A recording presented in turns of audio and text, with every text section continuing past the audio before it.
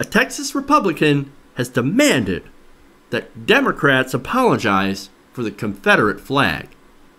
Wait, wait, what? We saw what they really want here on the House floor yesterday.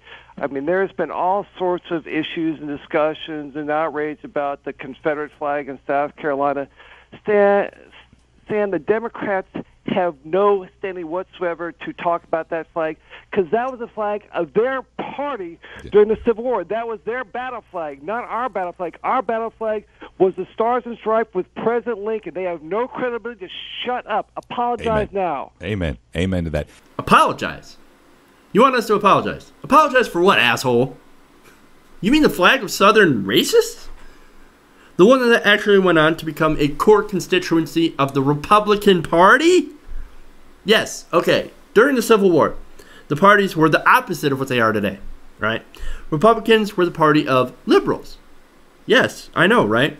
Until about 1960, when the racist Southern Democrats, also known as the Dixiecrats, and the KKK decided to bring back this battle flag, the stars and bars, to protest racial integration in the schools. Oh, I don't want to go to school with black people.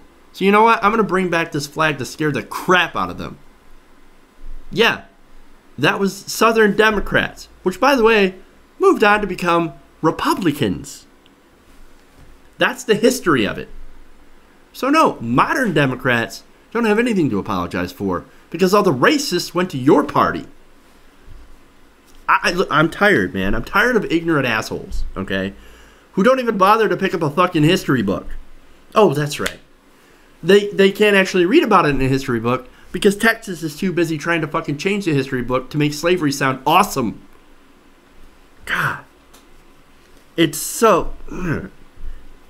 If, if modern Democrats are the racists, right, then let me ask you, what was the whole Southern strategy about? If modern Democrats are the racists, then how do you explain the Southern strategy, which was employed by Republican presidential candidates uh, Senator Barry Goldwater and Richard Nixon that worked together to attract Southern white conservatives to the Republican Party?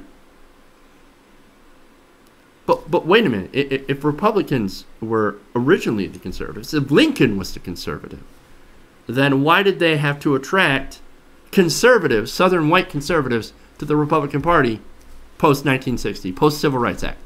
Why?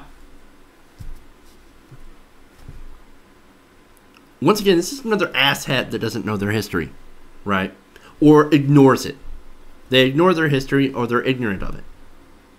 Or they're just flat out using it for their own political purposes.